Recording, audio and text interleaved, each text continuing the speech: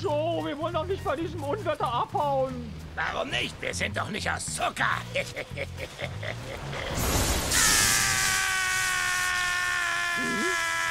Oh, das Licht. Ich kann das Licht sehen. Oh, Joe, du leuchtest. Ja, ich folge dir. Mein Stern führe mich.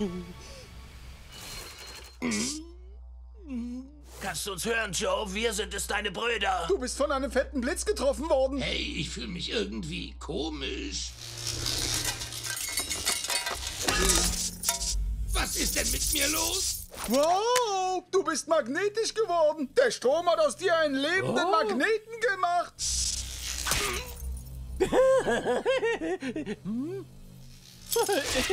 Autsch! Aber das bedeutet, ich kann super abhauen.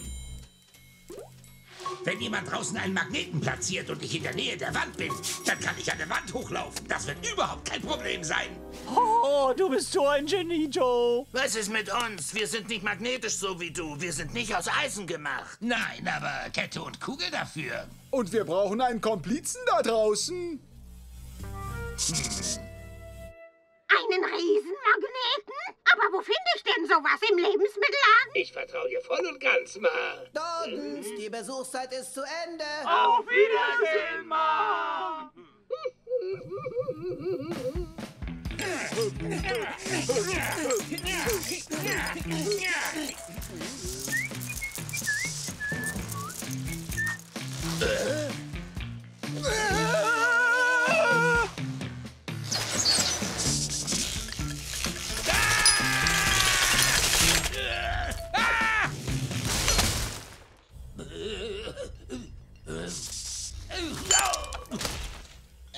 Essenszeit, Jungs. Oh ja.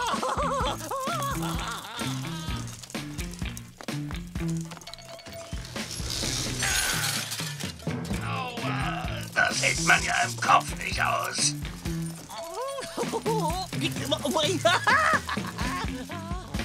Äh, Ich kann es kaum erwarten, dass wir draußen sind.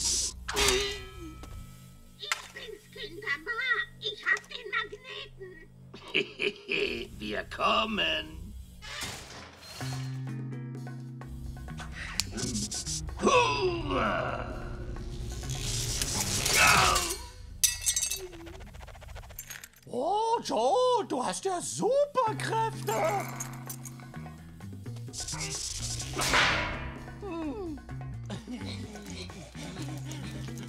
Es kann losgehen, Ma!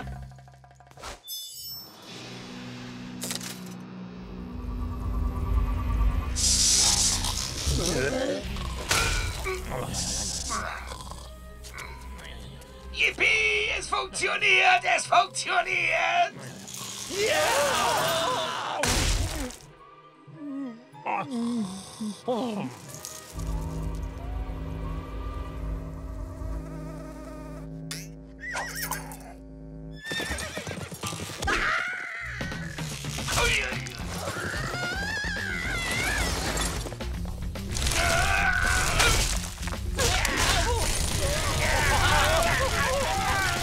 Das ist ja der Oberhammer. Tanzen wir gemeinsam in das gleißende Licht. Oh, oh. Sorry,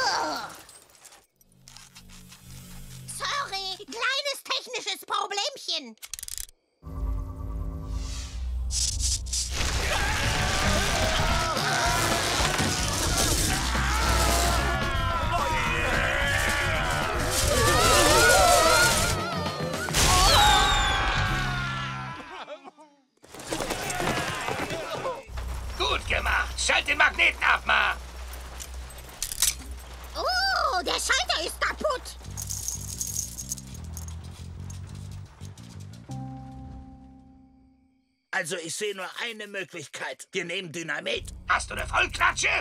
Ich kenne da einen Doktor, aber der hat nur im weitesten Sinne mit Medizin zu tun.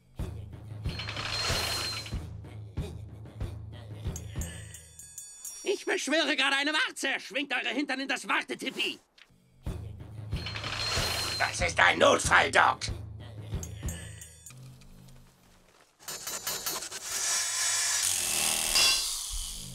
Hat es leider nicht geschafft, aber dafür ist der Magnet jetzt kleiner. Steht dir irgendwie, Joe? Das verleiht dir einen modernen Touch. Irgendwie. Naja, egal, wir sind frei. Das ist alles, was zählt. Äh? In die Richtung. Ich kann ihn riechen. Warte auf mich, mein Stern. Ich will dir folgen. Rantanplan hat die Witterung aufgenommen. Hinterher! Komm schon, Joe. Nur noch ein paar Meilen und wir sind in Kalifornien. Wir sind gleich beim großen Schrottplatz. Beim Schrottplatz? Ja, genau. Da findet man tonnenweise altes Zeug.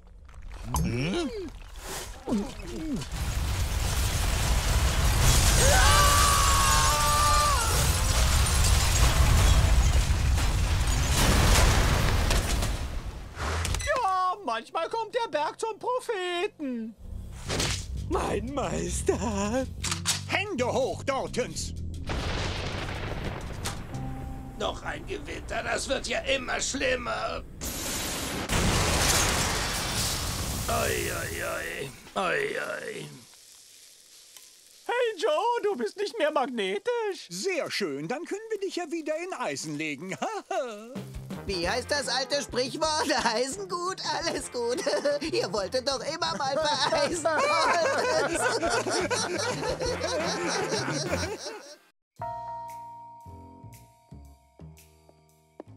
Nachtruhe, macht das Licht aus.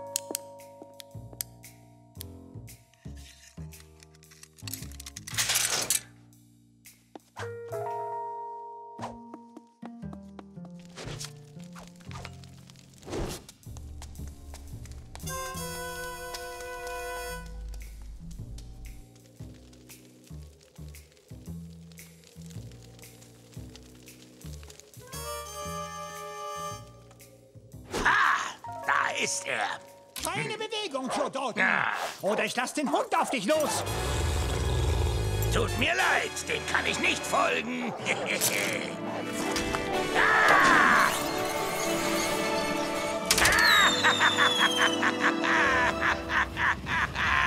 Joe! Joe! Hast du wieder von deiner Flucht geträumt? Das war spektakulär. Es gab hier einen Geheimgang. Aber Träume sind Schäume, Joe. Dummerweise.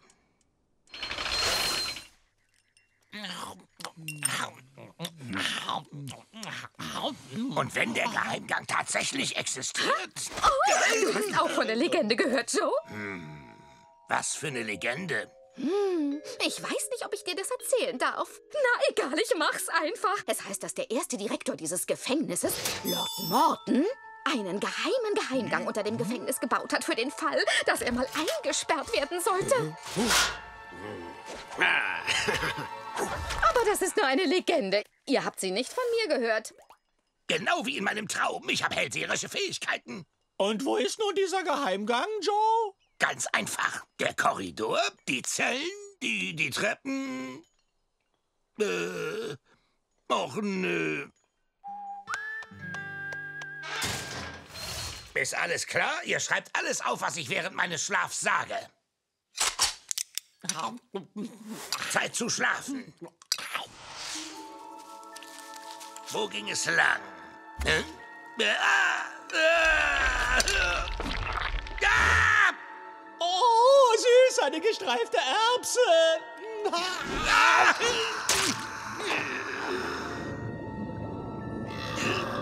Na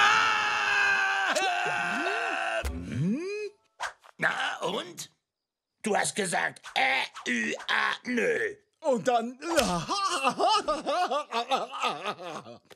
Na, ich hab nicht von dem Geheimgang geträumt. Tö, tö, tö. Träume sind oft von den Ereignissen des Tages beeinflusst. Was hast du gestern gemacht? Naja, alles war wie immer. Aufstehen, duschen, bisschen schuften. äh.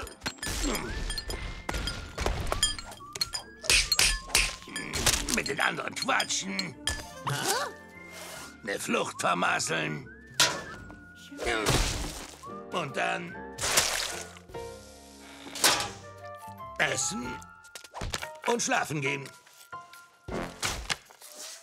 Alles war wie immer. Tja, du musst das machen, was du am Tag vor diesem Traum gemacht hast. Dann wirst du auch dasselbe träumen. Das, was ich gemacht habe? Genau.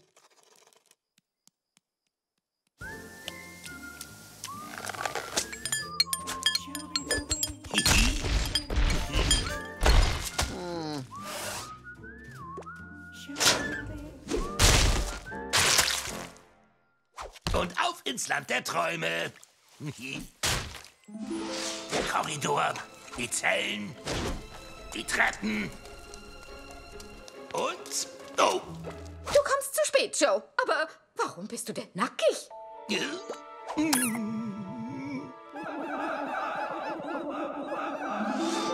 verflixt! Nach der Treppe hab ich's versaut. Da war kein Tunnel. Dann nochmal von vorn, Joe.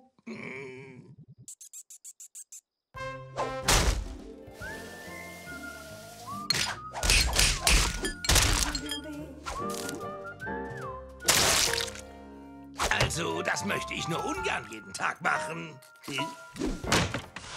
Der Korridor, die Zellen, die Treppen und... ähm,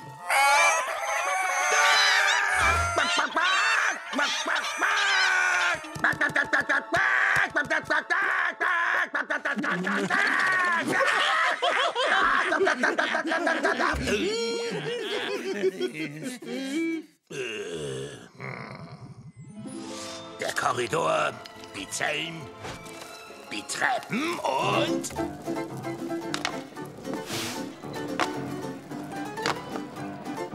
Die Treppen und...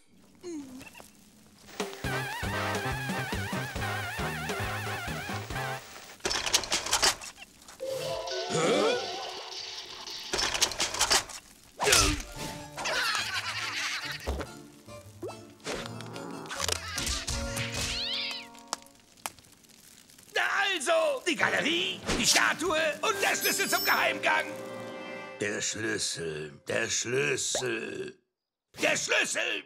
Korridor, Treppe, Galerie, Statue und Schlüssel. Das ist es genau. Bewegt euch.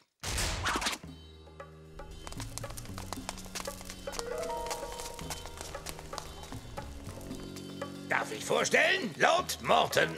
Danke für die Führung, Joe, aber... Wie geht's jetzt weiter? Diese bekloppte Statue ist unser Weg in die Freiheit. Ich muss nur ein paar... Keine Bewegung oder ich lass die Bestie frei. Das ist mir doch egal und tschüss. Ja. Ja.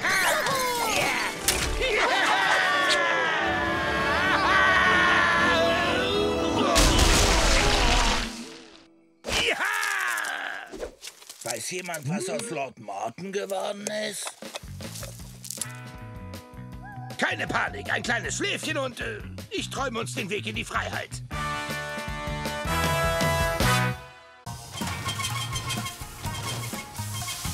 Der Wasserboiler lässt nicht mehr richtig Dampf ab. Wir müssen unbedingt den Schornstein reinigen.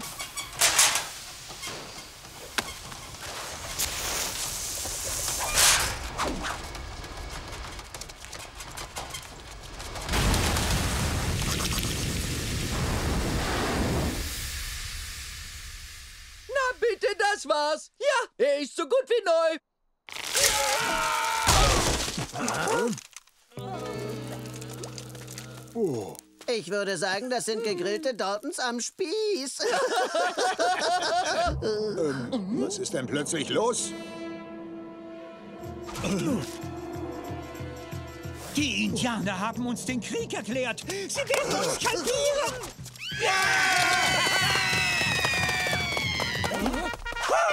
Wir sind gerettet. Die Kavallerie ist rechtzeitig eingetroffen. Das ist ein Wunder.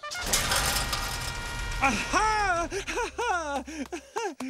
Sergeant O'Hara vom 7. Kavallerieregiment zur Stelle.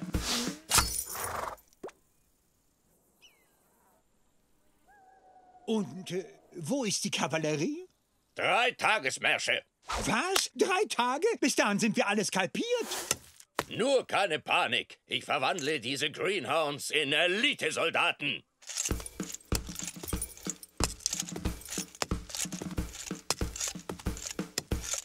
Glauben Sie wirklich, wir können mit einer Handvoll Häftlingen etwas ausrichten? Ich verwette meine Hand.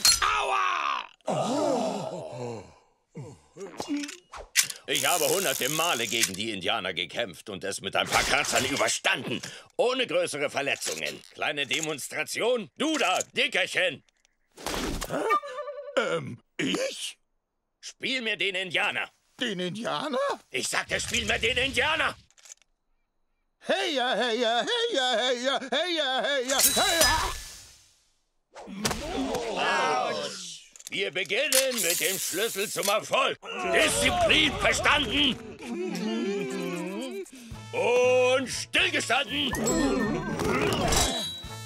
Halbe Drehung und vorwärts. Marsch. Eins, zwei, eins, zwei, eins, zwei, eins, zwei. Die Atmosphäre im Gefängnis ist heute ausgesprochen entspannt.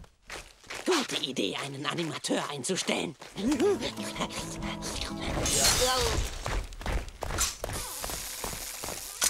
Stillgestanden. Alle Mann, Kit. Richt euch.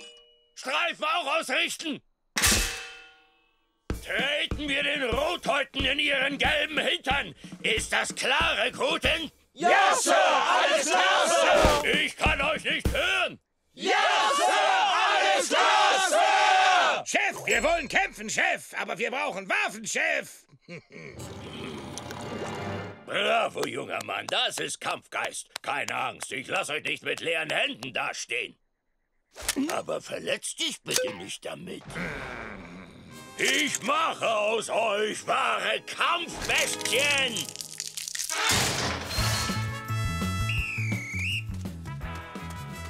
Hey, hey, hey, diese Übung kenne ich aus der Hundeschule.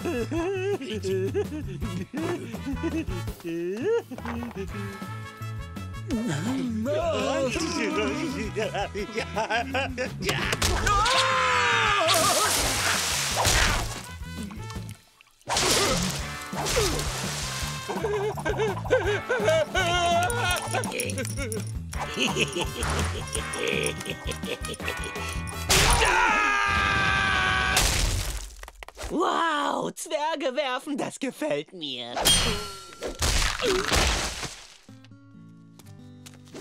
Ein Stein zwischen die Zähne dieser gefiederten Idioten und sie essen nie wieder Büffelfleisch. Achtung! Alle Steine liegen in einer Linie.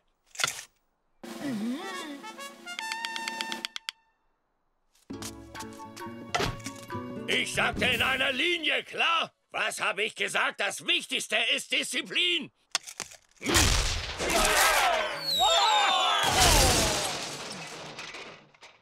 Dieser Kerl ist doch das Letzte! Wenn er Krieg möchte, dann soll er auch Krieg bekommen. Ah. Hilfe! Die Wäscherei brennt! Die Indianer greifen uns an!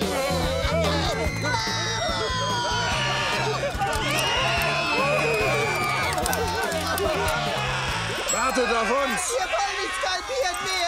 Nicht, dass ihr mich für feige haltet. Ich möchte nicht heldenhaft sterben, um das Geld für meine Vorgesetzten zu retten. Oh nein, ich komme mit euch mit!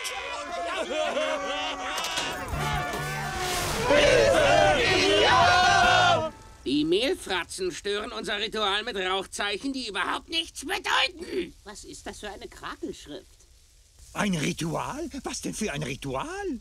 Jedes Jahr huldigen wir unseren Vorfahren, die in den ewigen Jagdgründen jagen. Seid ihr etwa nicht auf dem Kriegsfahrt? Die machen Party. Und essen Lutscher.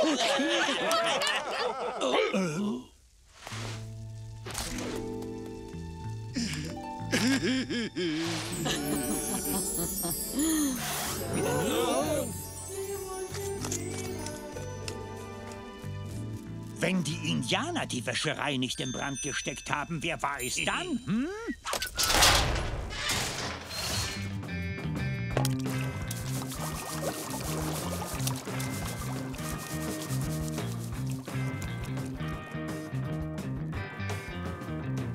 Oh, Ich kann zwar kein einziges Wort lesen, aber es ist sehr poetisch.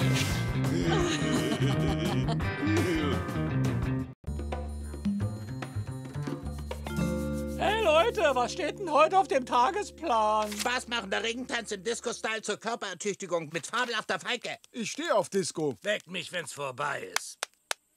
Liebe Häftlinge, der Medizinmann Fabelhafter Falke präsentiert uns heute eine Sensation, den Disco-Regentanz. Jetzt zeige ich dir, wie man richtig tanzt, kleine Lady.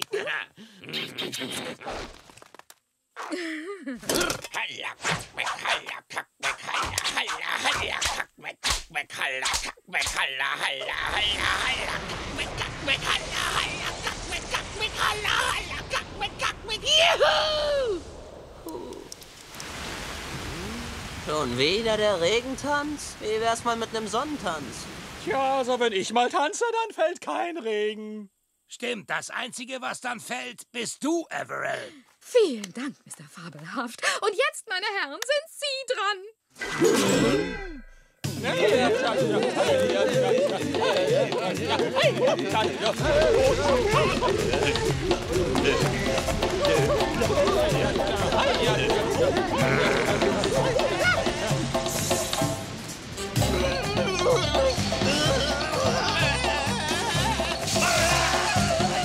Das erinnert mich an den Lehrgang von letzter Woche. Du meinst, wie man richtig grillt?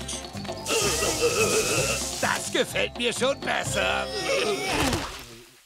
Heya chaka, heya chaka, heya chaka, chaka, chaka, heya humma, heya, heya, humma, heya, heya, heya, humma, heya chaka, heya chaka, heya, heya, heya, hu, heya, heya. Ja, du hast ein paar coole Moves drauf.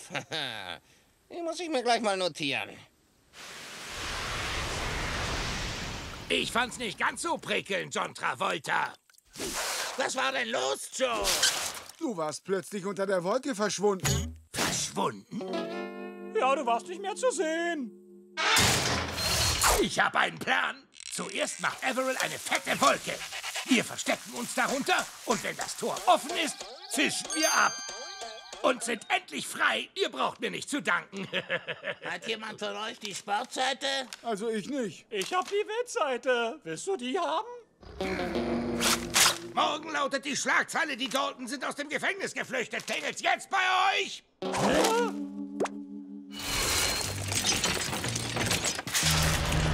Das Tor ist offen. Es ist soweit. Das ist dein Auftritt, Everett. Los, tanz! Äh, ich soll tanzen? Das kann ich nicht. Ich bin nicht in Stimmung. Soll ich dir erst in den Hinter treten, damit du in Stimmung kommst? Hm? Nicht nötig. Alter Tata, alter Tata, alter Dutti, alter Tata, alter Tata, alter Tata, alter. Die globale Erwärmung hat das Klima völlig durcheinander gebracht. Tja, plötzlich regnet es aus heiterem Himmel. Das ist schon verrückt.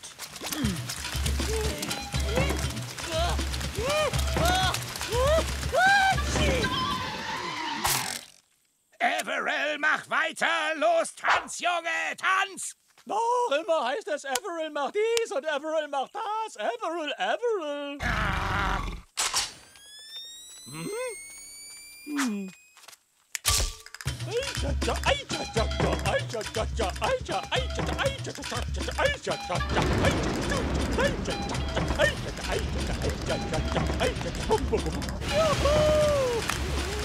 Das ist der Treibhauseffekt. Ach du dickes Ei, das ist ja wie in London.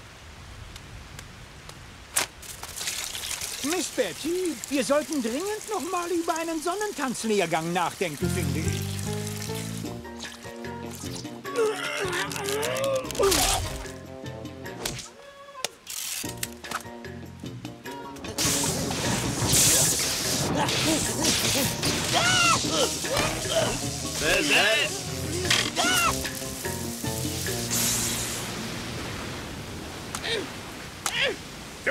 Deinem dämlichen Regentanz! Wenn man mal Regen braucht, scheint die Sonne und jetzt regnet es ohne Ende! Ah!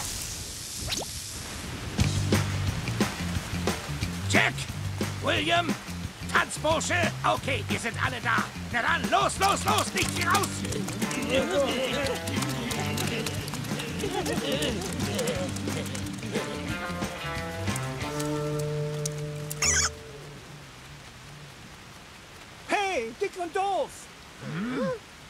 ihr wohl die Güte, das Tor zu schließen? Nicht, dass noch einer unserer Häftlinge stiften geht. Hm.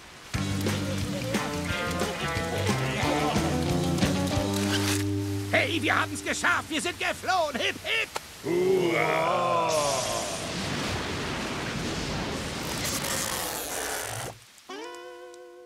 Hey, Jungs, wir sind nur auf der Durchreise. Vielleicht haben wir das nächste Mal mehr Zeit für ein kleines Tänzchen. Die Bleichgesichter scheinen unsere Rituale zu mögen. Wie wär's denn mit einem weiteren?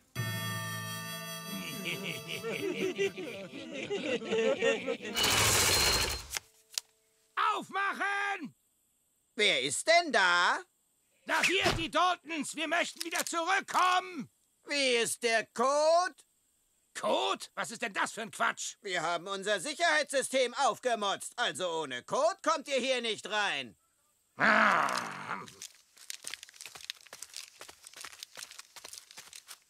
Hm, wie wär's mit eins, zwei, drei, vier? Hm? Ist das zu glauben? Das ist ja vielleicht ein raffinierter Code. Die Daltons kommen gerade rechtzeitig. Mr. Fabelhaft will gerade mit seinem neuen Lehrgang beginnen. Ein Anfängerkurs für den Feuertanz. Ich mach dir gleich Feuer unter deinem Hintern. Na, kriege, kannst du was erleben. Erst Regen und dann Feuer. Dann kommt's noch. Wäre noch schöner. Eine Erbschaft? Für uns? So ist es. Ihr Onkel hat das Zeitliche gesehen. Onkel Abigail! er ist tot! Everell, wir sind ihm nie begegnet. wir sind ihm nie begegnet. Das ist ja noch schlimmer. ich werde Ihnen das Testament vorlesen. Ich, Abigail Dalton, hinterlasse meinen ganzen Besitz meiner Neffen George, Jack, William und Everett Dalton. Sie sind hiermit die offiziellen Besitzer von... Millionen Dollar, einem Goldschatz. Einer Ölquelle? Von Margarete. Eine Kuh? Ja, Ihr Onkel war ein Bankräuber und ein Farmer. Wenn Sie bitte hier unterschreiben würden... Ich schicke Ihnen die Rechnung für meine Umstände. Leben Sie wohl, meine Herren. Aber, aber, aber, aber, warten Sie! Hey, das hier ist eine Strafanstalt und kein Kuhstall! Schön, Margarete bleibt hier, aber die Verantwortung für Sie übernehmen die Daltons. Hey, dieser Esel macht Lust auf einen Country-Ausflug. Wir werden gut auf dich acht geben, kleine Muku. Ich mag sie am liebsten Medium Rare mit einer Portion Pommes frites.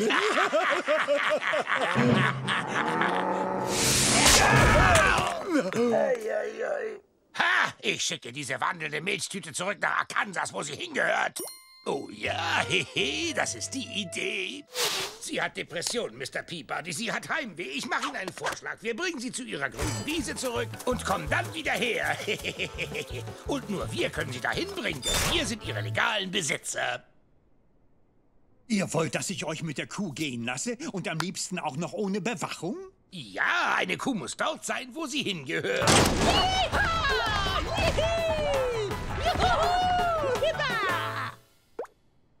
Ich finde, sie sieht nicht gerade depressiv aus. Wie Sie sehen, äh, hat sie diesen unbändigen Drang, zu ihrer Heimatwiese zu kommen.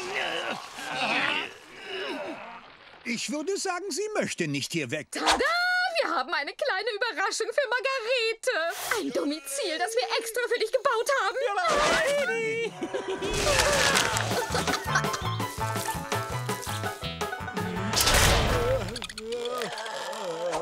so ein verflucht blödes Rindvieh. Ja! Hey, du darfst Margarete nicht reizen, Joe. Sie hat ihn doch tatsächlich auf die Hörner genommen. Die könnte glatt eine Mauer umhauen. Eine Mauer umhauen?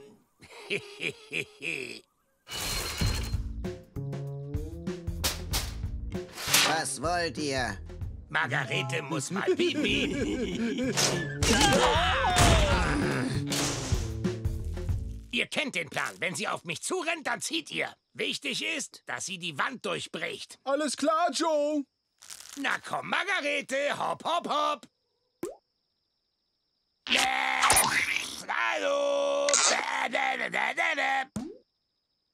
Ach du dämliches Rindvieh, nutzloses Stück Fleisch mit Hörnern, du gehörst in den Suppentopf! Doch, wenn meine kleine Kuh nicht zwölf Stunden Schlaf bekommt, dann rührt sie keinen Huf. Halt deine Klappe und red mir nicht dauernd dazwischen!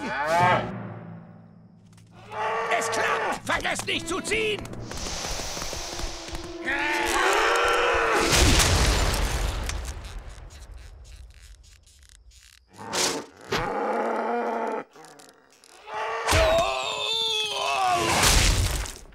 war schneller als wir, Joe.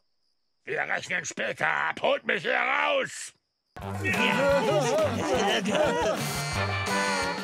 Alarm! Die Kuh und die Gefangenen sind ausgebrochen! Auweia, die Herde ist ausgebrochen. Bitte keine dummen Bemerkungen. Ich bin lange nicht mehr geritten. Oh, da ist ja die ganze Familie. Margarete ist einfach nicht zu finden, Mr. Peabody. Und kein Zeichen von den Daltons.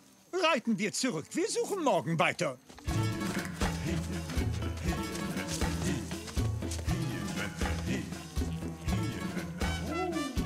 Juhu! Wir haben sie abgehängt! So, jetzt müssen wir nur noch die blöde Kuh loswerden.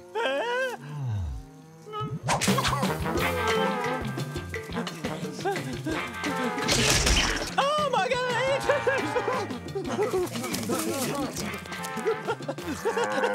Hör auf, Margarete, das kitzelt!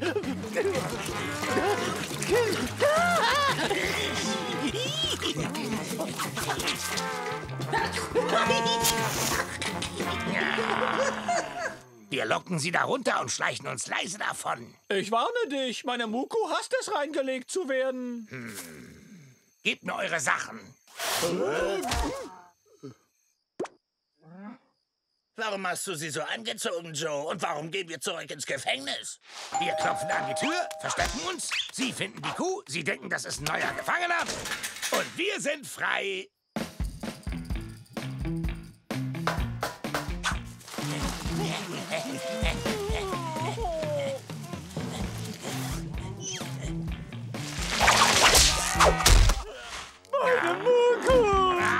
Uns los, du blödes Rindvieh! Hä? Die Daltons? Margarete hat sie zurückgebracht. Ich wusste gar nicht, dass Kühe wie Schäferhunde sind.